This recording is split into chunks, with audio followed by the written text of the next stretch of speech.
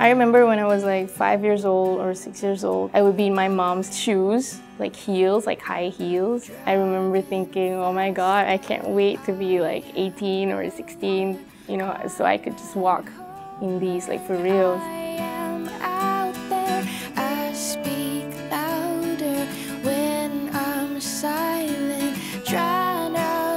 I guess it started out from my mom. You know, she's very fashionable. I would share her clothes, I would wear her skirts. I always know how to put things together. I opened up a store in my hometown, Subang Jaya. It's called I Am Jet Fuel. It started out as an online store, just me selling my clothes on my blog. It's kind of like my closet, so if you want to shop for clothes that you know I like, you could come to my store and you know you could wear the stuff that I like as well. So this is a way for me to share my interests with my fans.